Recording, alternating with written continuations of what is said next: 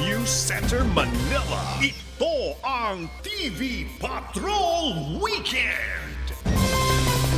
Magandang hapon Pilipinas, kami ang mga patrol ng Pilipino. Nagbabalita at naglilingkod sa inyo saan man sa mundo. Tumarangkada na ang limang araw na one-time, big-time road repair sa EDSA. Kumustahin nga po natin ang daloy ng trapiko roon. Live mula sa kanto ng EDSA at Quezon Avenue. Sa Quezon City nagpapatrol, Jose Carretero. Mang Jose, traffic ba dyan? Alvin, may good news dahil dito sa may bahagi ng Quezon Avenue flyover ay hindi pa naman gaanong masikip ang daloy ng trapiko lalo na yung mga sasakyan papuntang southbound. Pero yung mga sasakyan papuntang northbound medyo may pagkapal na o pagbagal na ng daloy ng trapiko. Hindi pa ito ang inaasahang bigat ng daloy ng trapiko Alvin dahil weekend nga pero sa lunes, ayon sa MMDA, asahan na na mas bibigat ang daloy ng trapiko dahil babalik na sa trabaho ang karamihan sa ating mga kababayan. Kaya asahan na ang mabigat na daloy ng trapiko at paalala ng MMDA magbaon na ng mas mahaba-habang pasensya. Sinimula na kagabi ang road repair sa EDSA bus lanes. Unang isinara ang bus lane sa bahagi ng Corinthian Gardens sa Quezon City. Kaya napilitang gumamit ng regular lane ang mga bus. Nagresulta naman ito sa bagyang pagbagal ng mga sasakyan na nanggagaling sa Ortigas flyover. Pagsapit ng alas 6 kaninang umaga, mabagal na rin ang daloy ng traffic sa magkabila ang lane ng EDSA Orense northbound dahil sa ginagawang pagkukumpuni. Isa rin ang EDSA Carousel Bus Lane malapit sa MRT North Station sa mga sinimulang ayusin ng DPWH. Dahil sa mga sirang dulot ng mga bagyo at mga pag-ulan, kinailangang bungkalin ang kalsada habang asphalt overlay naman ang ginagawa sa ibang bahagi. Nilinaw naman ng DPWH na hindi substandard ang ginamit na asfalto sa EDSA nitong mga nakalipas na emergency road repairs. Siguro tuloy-tuloy na pag-ulan. Kaya nagkakaroon po tayo ng mga ganong potholes din sa mga kalsada natin. Alalahanin din po natin na yung mga pavements, uh, kagaya sa EDSA, matagal na matagal na nailatag yan. Hindi naman po eh, isang taon siguro nailatag tapos masisira kagad. Meron namang quality naman po yata yung nilalagay po namin ng mga materialis po niyan. Ayon sa ilang bus driver na dagdagan ang oras ng kanilang biyahe mula Monumento Station hanggang PITX. Dagdagan, isang oras mahigit. Mahirap po ngayon. Pero para sa ilang pasahero kaninang umaga, halos normal lang naman ang biyahe. Hindi naman po masyado. Nakasakay lang din po namin. Actually ngayon, kasi Saturday, so okay naman po yung daan. Mabilis naman po yung takbo ng carousel po. Maging ang ilang motorista, wala pang napapansing pagbabago sa traffic sa EDSA. Pero posible umanong sa lunes pa maramdaman ang bigat ng trapiko sa EDSA. Okay pa naman yung traffic natin. Uh, nagkakaroon ng slow na na sa may reblocking area. Sa mga pagkumpuni na ito. uh, we expect heavy Ah. volume of traffic dahil may pasok na po sa mga ah, paaralan at ganon din po sa mga trabaho. Kaya nga po Yun nga. kami ay nakikiusap sa ating mga kababayan na gumamit po ng alternatibong ruta Nag-deploy na ang Quezon City Government nagdagdag ng mga traffic enforcers. Alvin, sa ngayon nga maganda pa ang daloy ng trapiko sa papuntang mga sa papuntang southbound habang medyo may pagbagal na ng mga sasakyan papuntang northbound. Kung makikita nyo sa likuran ko, tuloy-tuloy naman ang ginagawang patrabaho ng DPWH sa bahaging ito ng bus lane sa may Quezon Avenue flyover. 24 hours Alvin ang ginagawang patrabaho dito at kahit nga rush hour ay tuloy-tuloy ang patrabaho at inaasahang matatapos ito sa Miyerkules kaya sa Webes ay pwede nang madaanan ang mga kalsada na ipinasa ilalim sa road repairs. Alvin. So ang posibleng delubyo dyan, lunes, martes. Mang kasi ano ba kayo, Sabado, Linggo, Lunes, Martes, hanggang Miyerkules pa pala yan. Hanggang Miyerkules pa ito, Alvin. Kaya paalala nga ng MMDA dahil sa lunes, asahan na daw ang mas mabigat na daloy ng trapiko sa EDSA ay gumamit muna ng mga alternatibong ruta like yung mga mabuhay lanes, gamitin na muna. At yung medyo may extra budget ay gumamit muna ng Skyway, Alvin. Na-check mo ba yung ano, yung mabuhay lane, yung alternatibong daan kung maayos naman? Kasi baka pati doon, isang katerbad yung nagpa-park sa magkabilang gilid, kikitid din. Kanina Alvi, nagkaroon ng clearing operations ang MMDA sa ilang mga bahagi ng mabuhay lanes para nga masiguro na hindi rin magkakaroon ng build up ng traffic sa mga lugar na ito na gagawing alternate routes ng ating mga motorista. Maraming salamat, Jose Caritero. Parusa sa mga motorista ang mas mabigat na trapiko sa North Luzon Expressway ngayong weekend. Ito'y kahit humuhupa na ang baha sa NLEX. Live mula Santo Tomas, Pampanga, nagpapatrol, Gracie Rutao. Gracie, paanong diskarte ng mga motorista? At may magagawa ba, halimbawa yung NLEX management, para maging maayos yung daloy ng trapiko? Mga ginagawa namang measures ngayon ng NLEX para maibsan nga ang taas ng baha sa NLEX tulad ng pagpapump at sandbagging. At ang kagandahan ngayon, meron ng mga alternative routes para makaiwas sa traffic sa NLEX. Yun nga lang, limitado lang ito sa malalaking sasakyan dahil mataas pa rin ang tubig sa ilang local roads sa Pampanga. Tumindi pa ang kalbaryo ng mga motorista sa NLEX kasabay ng pag-uwi ng mga motorista sa kanilang mga probinsya ngayong weekend. Mula kagabi, umabot na sa 5 hanggang 10 kilometro ang pila ng mga sasakyan, lalo na sa northbound lane. Mula Plaridel hanggang makalampas sa binahang bahagi ng Tulaok Bridge sa San Simon, Pampanga, inaabot ng dalawa hanggang tatlong oras ang biyahe. Karamihan sa mga motorista, naiinis, naiinip at nadismaya dala ng dagdag na gastos sa gasolina dahil sa pagkakaipit sa traffic. Ay bilisan na lang sana ng hindi ganong hassle. Sana po ano mas ayusin, ah, mas fokusan po ng government natin. Dapat gawan na nila ng remedyo para lahat tayo hindi maperwisyo. Ayon naman sa pamunuan ng NLEX, tuloy-tuloy pa rin ang isinasagawa nilang pumping para maibsan ang baha. Nakatulong daw ang magandang lagay ng panahon, kaya unti-unti nang bumaba ang baha na ngayon ay nasa 30 sentimetro na lang ang taas. Opo, meron na po tayong coordination. Actually, kung may infrastructure na gagawin together with DPWH, kasi kung magtataas po kami yung pavement po nung sa expressway, kailangan po maitaas yung Tulaok overpass. Ano po. But uh, there's another solution po siguro yung cleaning ng waterways at saka yung uh, dredging po siguro ng Pampanga River kasi yung Pampanga River talaga yung dahilan na mal- malaki yung pagbaha dahil ngayon umapaw po eh. Sa aerial survey ng PNP Air Unit, kita ang tindi ng epekto ng baha sa probinsya. Pumantay na rin sa ilog ang tubig sa mga palayan at mga palaisdaan. Sa tala ng PDRRMO Pampanga, higit 807 billion pesos na ang danyos ng malawakang pagbaha sa agrikultura at paghahayupan. 208 barangays pa rin mula sa 17 bayan at syudad ang lubog sa baha. Katumbas ito ng higit 196,000 na pamilya. Sa gitna naman ng perwisyong hatid ng baha, ngiting panalo ang residenteng si Jojo. Bitbit ang tatlong kilo ng tilapia na nabili lang ng 200 pesos sa kahabaan ng MacArthur Highway sa Barangay Balangkas, Santo Tomas, Pampanga. Murang-mura ang mga isda gaya ng hito, tilapia at bangus na nahuli mula sa pag-apaw ng mga palaisdaan. Mas mura. Mas mura. Tsaka mas malaki siya kaysa dun sa mga ibang Ah.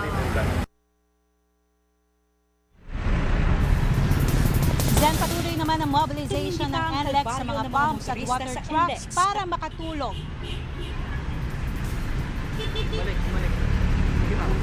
Zen patuloy naman ang mobilization ng NLEX sa mga pumps at sa mga water trucks para makatulong sa pag-drain ng baha sa expressway. Pinapayuhan naman yung mga class 1 and 2 o yung mga light and medium-sized vehicles na manatili lang sa lanes 1 and 2 o yung leftmost at middle lane para makaiwas sa baha.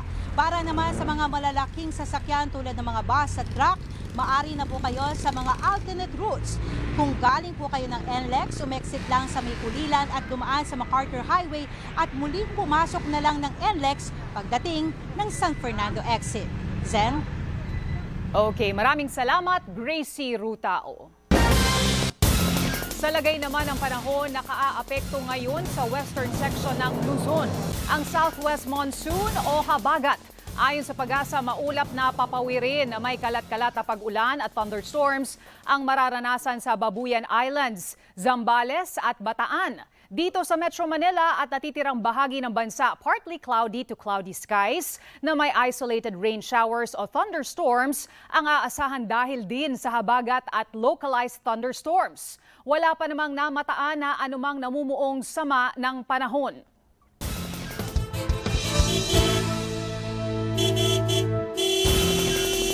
Kapit na mga motorista ito ng busina sa petrolyo.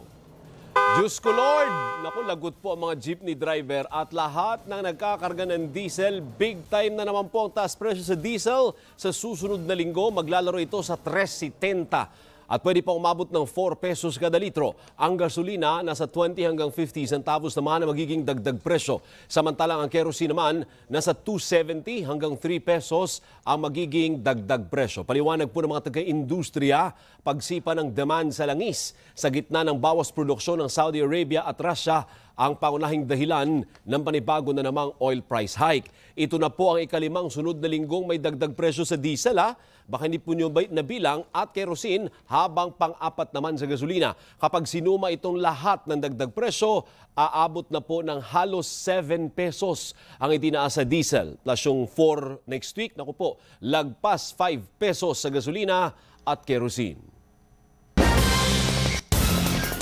Sumikat siya sa TikTok dahil bukas ang kanyang farm para sa sino mang gustong bumisita at libre pa niyang pinapakain ang mga ito.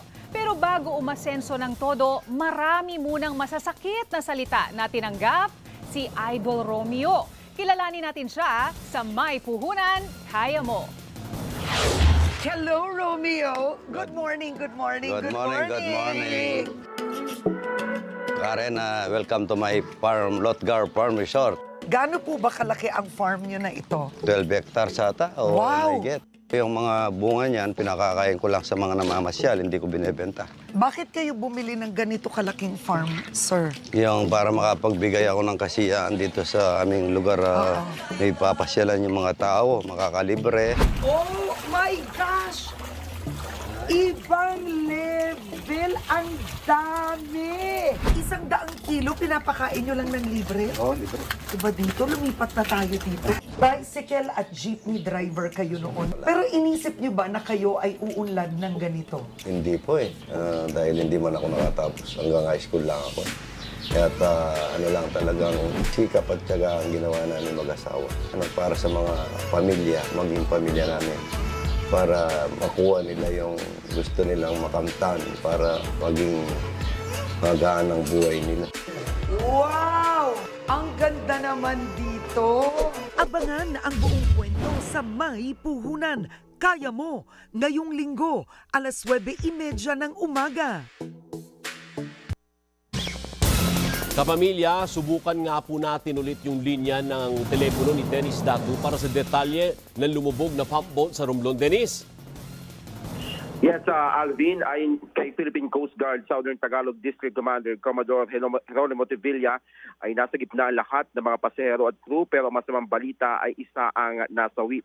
Sa cellphone video na kuha ng pasahero si Alden D. Fahilan, makikita ang pampaserong motorbangka na MB King Santo Niño na ilang bahagi na lang ang sa tubig habang ilang pasahero ay nakatayo at pilit na kumakapit. Kita rin na ilang bahagi na ng bangka ang nasira at ang ibang mga pasahero nakasuot ng life jacket ay nakalutang na sa dagat at humihingi ng tulong. Kita rin sa video ang uh, pagdating at pagsaklolo ng isang uh, bangka. Ayon kay Corcuera Mayor Elmer Pruelda, galing sa bayan ng Calatrava ang bangka at patungo sanang Corcuera nang mangyari itong paglubog bandang alauna ng hapon malapit sa Simara Island. Responding Coast Guard, ang uh, Municipal Disaster Risk Reduction Management Office at mga mangisda. Ayon kay Mayor Provelda, nasawi ang isang babaeng pasaherong barangay treasurer. Sabi naman ng Philippine Coast Guard na nailigtas na ang 89 na pasahero at limang crew. Tatlong pasahero ang nagtamo ng minor injuries at dinala ang mga nailigtas sa tabing dagat ng barangay Ilihan sa Corcuera. Ang sabi pa ni Mayor Pruelda, special permit at may special permit ang bangka at ang karamihan sa mga pasahero ay mga kabataan mula sa summer youth camp ng isang religious group. Iniimbestigahan pa ang dahilan ng paglubog ng bangka pero batay sa paunang investigasyon, hinampas ang bangka ng malalaking alon. Ang initial na report, sir, ay uh, nabutas daw yung parating hulihan ng bangka. Mhm. Bakit daw po nabutas, sir? Ah, may kalakasan po kasi ang alon in between Calatrava and Simara Island. nasa 30 plus gross tonnage yung kanyang ah, ah, bigat at ah, sa sa ah, authorized ah, passenger capacity naman ay initially ah, pinakuha ko agad yung dokumento so nasa tama naman siya no yung number of passengers versus dun sa authorized capacity niya. However, syempre ang titignan natin diyan bakit pinasok ng tubig yung ah, bangka. Oo, yun ang ating ah, punto ng ah, pag-iimbestigahan. Alvin gawa sa bangka pero ayon kay Commodore Tevilla nang magsimulang pumalaot ang bangka mula sa Calatrava ay kalmado ang dagat pero kakaiba daw umano ang kondisyon ng dagat sa Romblon na bigla-bigla lumalaki ang alon kapag nasa gitna na ng laot. Isa-isa nang kinakausap ng uh, mga tauhan ng Philippine Coast Guard ang mga crew at mga survivors para makakuha ng mga impormasyon sa nangyaring trahedya. Alvin. Maraming salamat, Dennis Datu.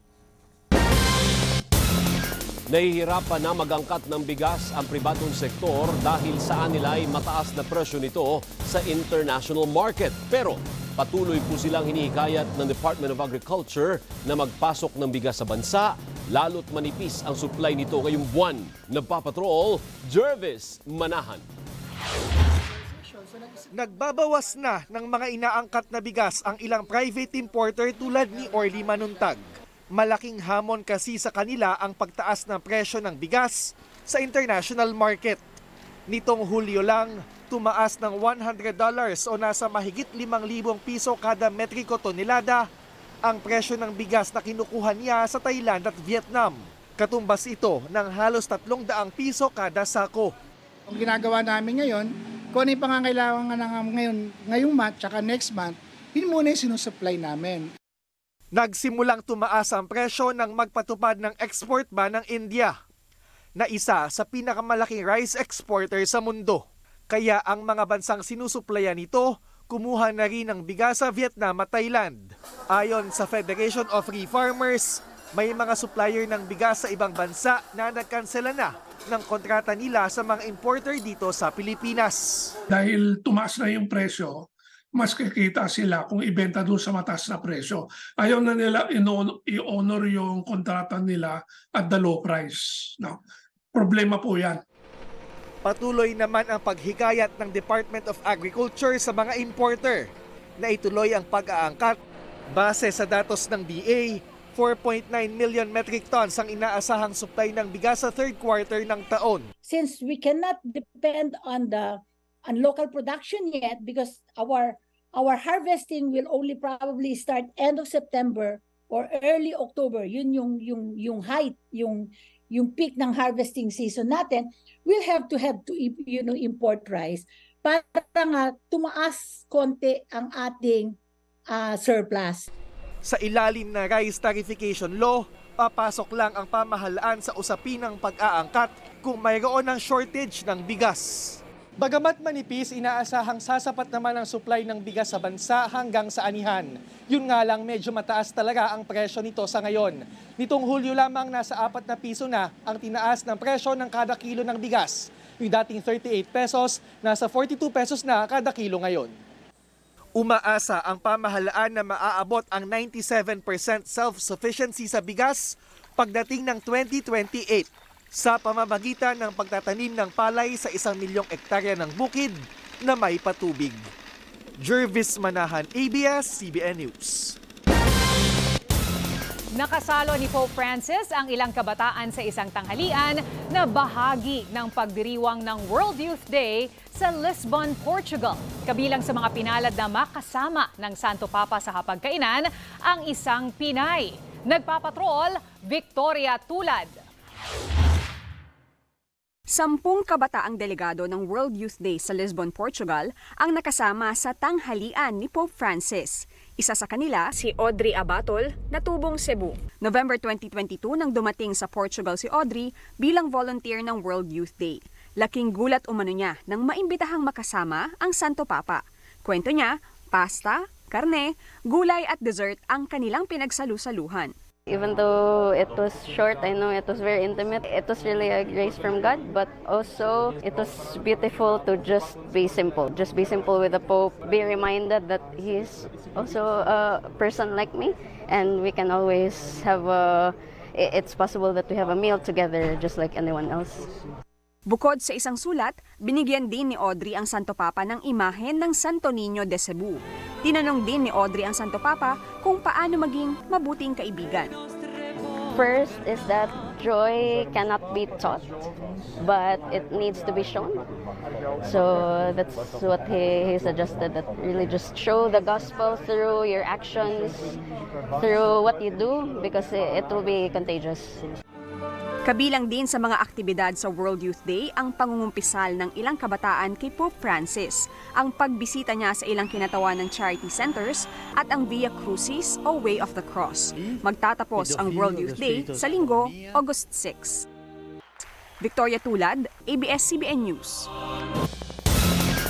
Wala na pong ulan sa Bulacan, pero labing isang bayan pa rin doon ang lubog sa baha. Nagkakasakit na tuloy ang mga residente na ilang araw na o isang linggo na nababad sa baha. Live mula sa Giginto, Bulacan, nagpapatrol si Andrea Tagines. Andrea, ano bang mga iniindang sakit ng mga residente dyan at bakit kahit walang ulan ay mayroon pa ring baha? Zen, hindi nga lang problema sa mga nasirang gamit o apektadong negosyo ang iniinda ng mga residente dito kasunod ng matinding baha. Marami na rin ang nagkakasakit dahil sa matagal na pagkababad sa maruming tubig.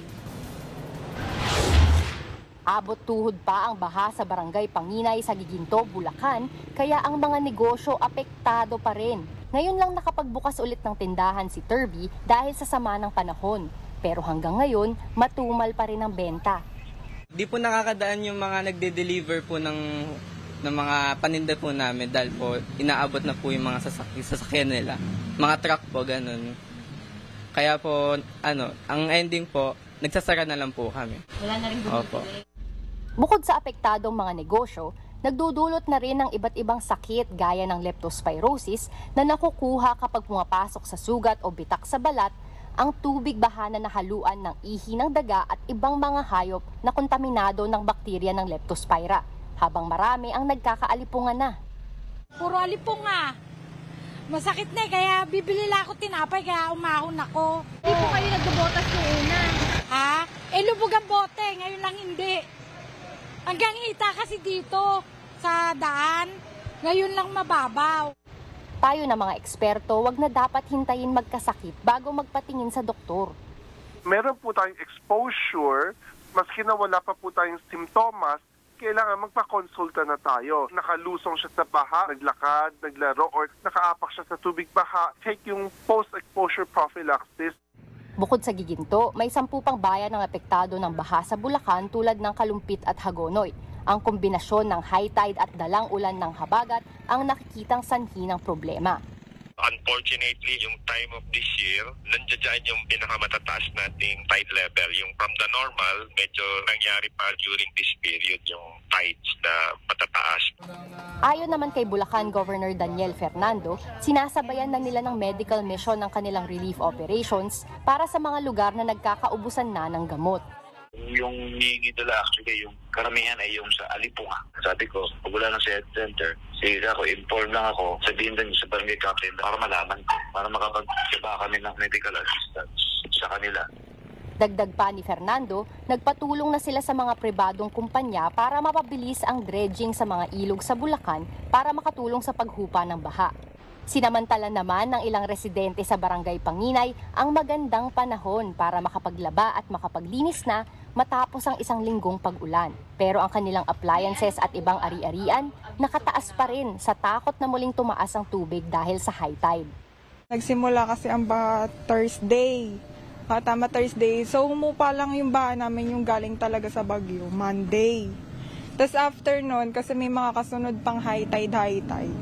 So pagkahapon dito, nagbabaha-baha pa rin. Zen sa tala ng DSWD umabot na sa 275 million pesos ang naipamigay na tulong sa mga naapektuhan ng bagyo at ng habagat sa buong bansa. Samantala dito sa Bulacan, nasa 3,000 pamilya pa rin ang nananatili sa mga evacuation centers dahil nga sa napaka-unpredictable na tubig na dala ng high tide. Zen? Mhm. Ayun, high tide pala yung dahilan, Andrea. So sa, sa inyong monitoring, ano yung pinakamataas na level ng baha na napansin ninyo? Zen, sa ngayon, meron pa rin umaabot ng bewang, tubig na hanggang sa bewang sa mga ibang bayan tulad ng Kalumpit. Pero dito naman sa Giginto, meron dang hanggang ah, Talampakan, meron din namang, lalo na sa mga main roads, meron pa rin umaabot sa tuhod. Pero yun nga, kahit hindi na umuulan, ang kinakatakutan ng mga residente ay yung high tide nga, Zen. Okay, maraming salamat, Andrea Tagines. Nag-motorcade sa Tagig ang Philippine Women's National Football Team. Selebrasyon din ito na makasaysayan at matagumpay na pagkakasama sa FIFA Women's World Cup ng Team Pilipinas. Bagamat hindi nakausad sa round of 16 ng FIFA World Cup, pinamalas ng mga Pinay na kaya nila makipagsabayan sa iba pang mga bansa pagdating sa football.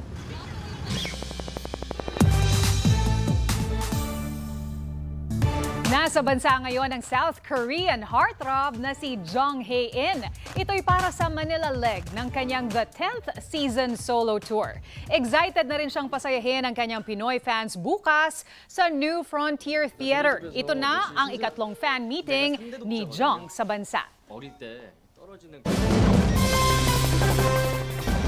dahil OT na, yan ang mga balitang nakalap sa aming tuloy-tuloy na pagpapatrol. Ako po si Zen Hernandez. Annyeonghaseyo. Ako po si Alvin Alchico. Dito kami, naglilingkod para sa inyo saan man sa mundo. Magandang ba?